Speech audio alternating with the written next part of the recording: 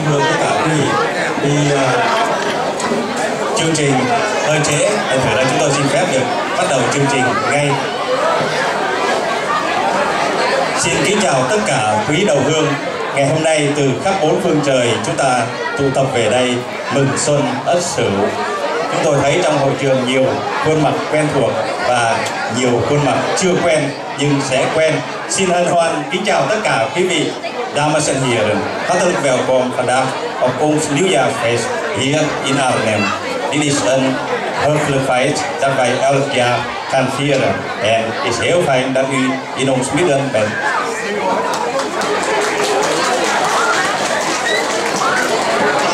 Chúng tôi xin thông báo chương trình như sau.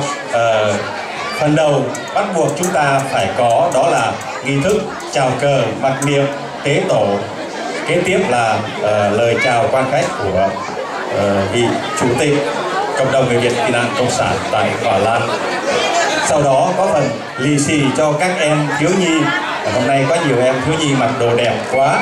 Chắc là à, ai mặc đồ đẹp thì sẽ được thêm một túi lì xì chăng tôi không biết. Nhưng mà mặc đồ đẹp quá rất là uh, dễ thương.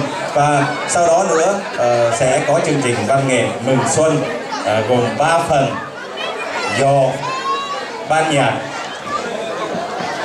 Tôi phải nói lại một cách đúng tôi cái hay kêu là ban nhạc rạng đông nhạc nhưng mà ban nhạc đó đã đi vào quá khứ lâu rồi thì phải phải không ạ? Vâng.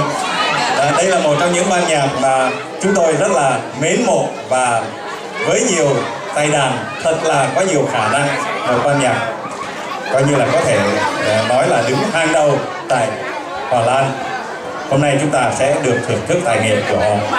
Hy vọng tất cả mọi người chúng ta cùng ngồi đây cho tới khi tiệm tàn bởi tiếng đàn thật quyến rũ của ban nhạc.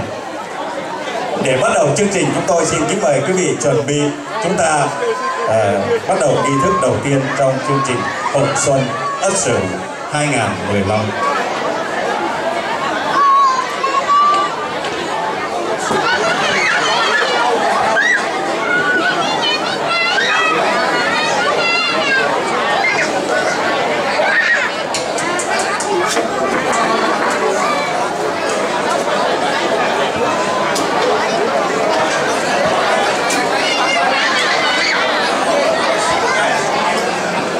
thưa tất cả quý vị, chúng tôi xin được bắt đầu chương trình với nghi thức chào cờ Alle kinderen, alle even luisteren. We gaan even een heel serieus gedeelte van uh, ờ, het programma ờ, uh, uitvoeren. En ik vraag jullie om even bij je ouders, bij jullie ouders te zijn. Ja, dankjewel. Dạ, các con, tụi con bây giờ ngồi với ba mẹ nhé. Rồi chúng ta sẽ bắt đầu nghi thức đầu tiên đó là nghi thức chào cờ.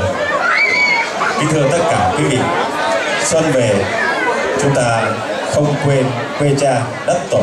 Xuân về, chúng ta không quên nguồn cội nguồn cội của mình, người việt. Chỉ là xuân về, chúng ta vẫn nhớ đến quê hương.